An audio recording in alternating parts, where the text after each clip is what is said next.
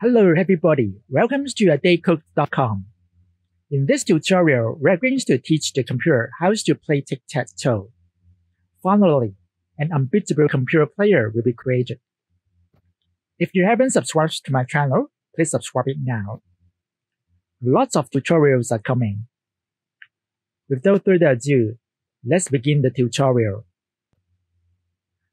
The AI algorithm that's being implemented is called Minimax. By applying Minimax, the computer player can guess the best move. Minimax will calculate the values of each move throughout the whole game. The whole game involves alternative turns of a computer and a human. The game starts with the blank game board having nine squares. We assume the first player will mark an O on the game board, and the opponents will draw an X. To win a tic-tac-toe game, a human will try to think of all possible consequences for each move. In reality, on a blank game board, the first player has 9 possible moves. Then the next player only has 8 possible moves. The third level has 7 possible moves.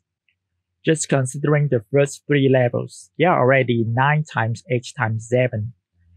504 combinations. It's almost impossible for humans to list all possible outcomes in the beginning of a tic-tac-toe game, but the computer is able to do so. Minimax algorithm is a decision rule which enumerates all possible combinations until there is a tie or a winner. It will go down until reaching the final looks of a tree. It implies Minimax can foresee the result.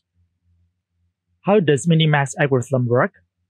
Assume O is a maximizing player and X is a minimizing player. A maximizing player will try to maximize the values of each move.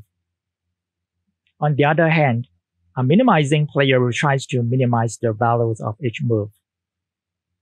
A minimizing player is your opponent. It makes sense your opponent always wants to minimize values of your moves. Minimax is the repetitive steps of maximization and minimization. This is where the name Minimax comes from. Each board will have a value. Let's start from the end nodes of a game tree. When a game is ended, there are only three possibilities. If there's a draw, the game will have a value of zero. Remember, O is the maximizing player.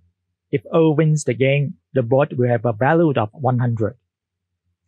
If X wins the game, the board will have a value of negative 100. Consider the situation on the screen. It's O's turn O has three possible moves now. O will look for a node having the highest score. The first and third moves will lead to two possible moves where it's X's turn. If O takes the second move, it will directly win the game.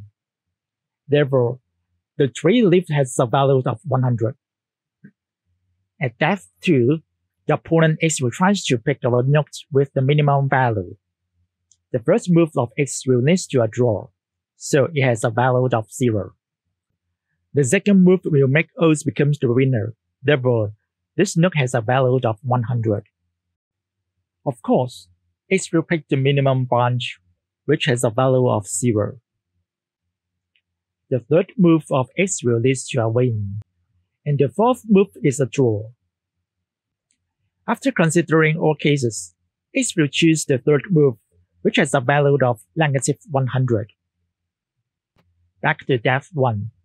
O has to choose between 0, 100, and negative 100. O is the maximizer, so it will choose the branch having 100. It will make O become the winner. In case there's a fork, one path may take more moves than the other. How can we make sure the computer will choose the shortest path to win? The simplest way is to subtract the depth from the node score for the maximizing player, and add the depth to the node score for the minimizing player. By this method, the shortest the path, the higher score the maximizing player can get, and vice versa. It will also make the player choose the longer ways to lose. Let's start to implement Minimax AIs into our tic-tac-toe game. I will start with the tic-tac-toe game which we created in the last tutorial. If you haven't watched the tic-tac-toe tutorial, you may watch it first. In Flutter, values of enums will be lowercase. Let's convert values of mark enums to lowercase. We should replace the uppercase mark.x by the lowercase by using the replace function of the editor. Similarly, we convert all the uppercase mark.o into the lowercase. Let's check if there's mark.none. Great, we didn't use mark.none. Go to the top of the file. Define an enum for winner. There are four game states. X wins, O wins. The game is tied. If next turn is required, the winner will be none. Define a constant called AI and a constant called human. AI will mark X on the game board. Human will mark O on the game board. We don't need to wrap the CustomPaint by an extra container. When designing a layout, we should prevent unnecessary container. Remove the container wrapper to keep the layout clean. I'm going to simplify the setState function by removing all cooks except the add mark statement. All the other cooks will be moved to the add mark function. Place the cook into the add mark function, then format the code. If there is a tie or a winner, the add mark function will draw nothing. Therefore, the drawing happens in the else clause. Then the function should return a boolean to indicate whether a new mark has been drawn. If a human player cannot draw anything, the computer will know the game has ended. Continues to move other cooks into the else clause. If a mark is added to the game marks map, the is absent variable will become true. So we can return the is absent variables to indicate whether Flutter has drawn a new mark. A human player will click on the screens to add a mark. So a human will use the screen coordinates to draw a mark. The computer knows the index of the game board.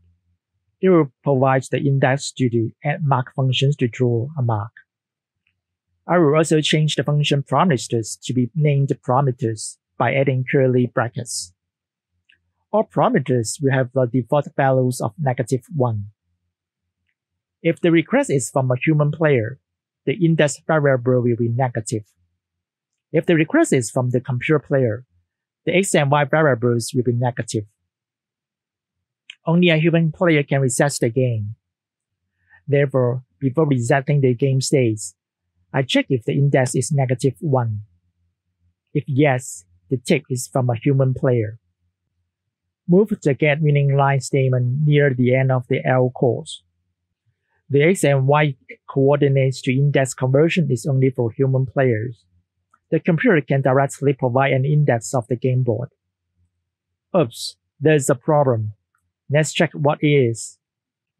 We've changed the parameters of marks to be named parameters. We should name the parameters while making a call. Save the file and reload the app. Both a human player and a computer player needs to check if anyone has won the game.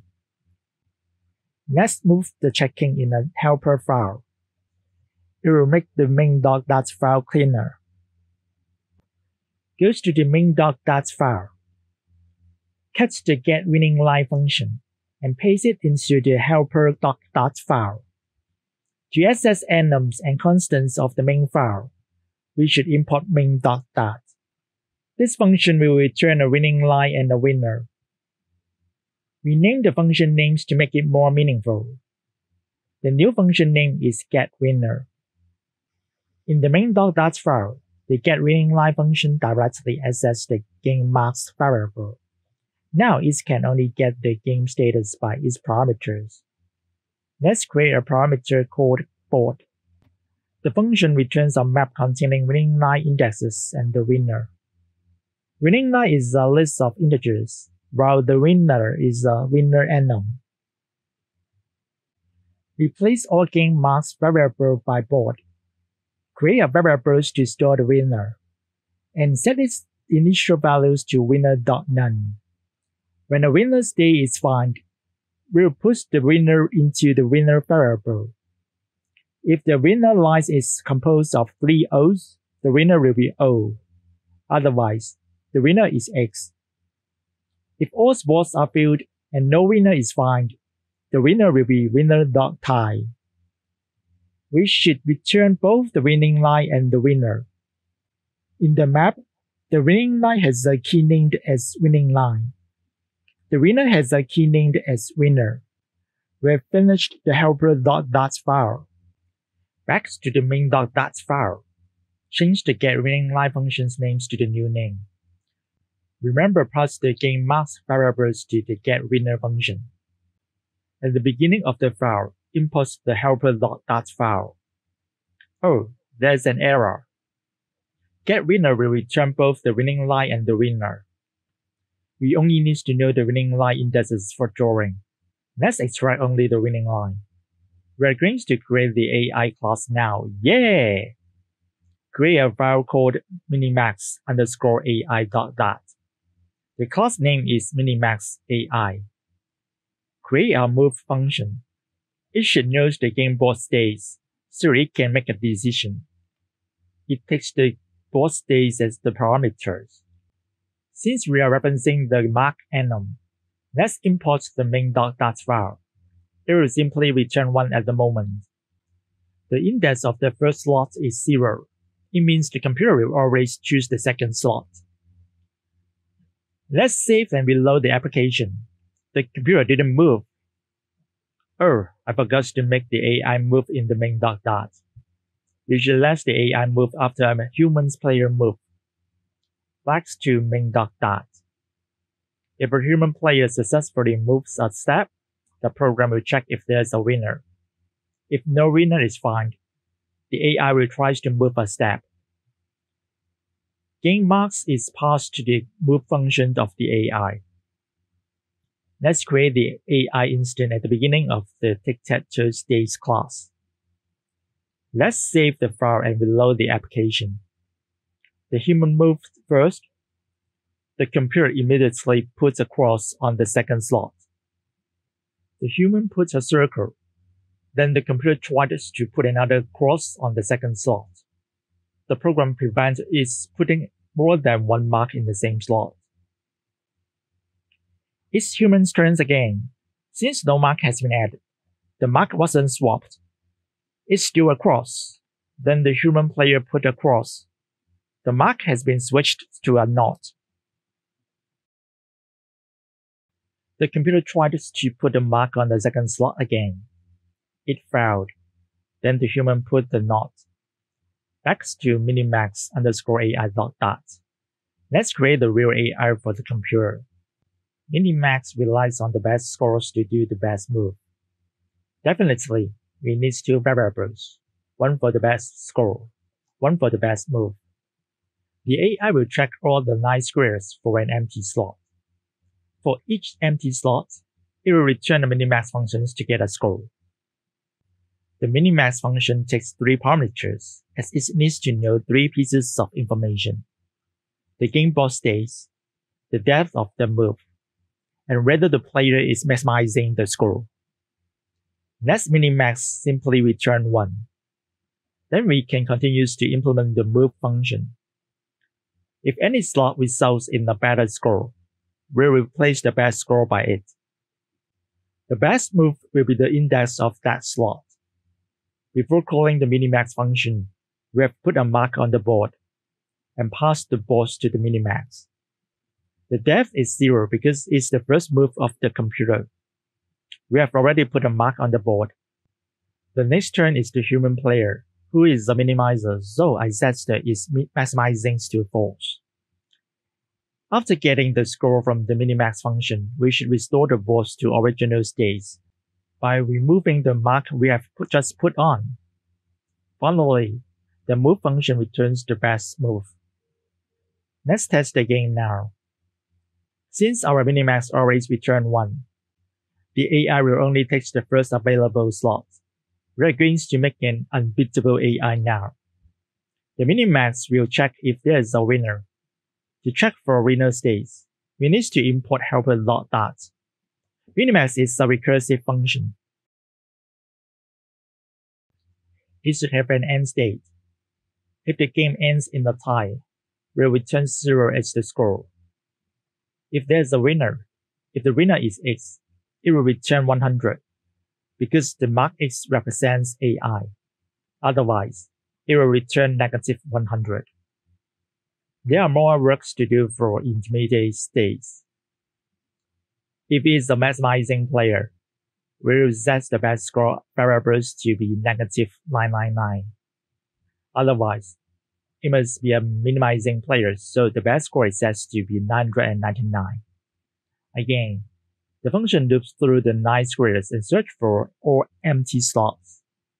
If the player is trained to maximizing the score, it will be an AI. Otherwise, it will be a human player. If it is a maximizing turn, the max function is used to get the maximum score.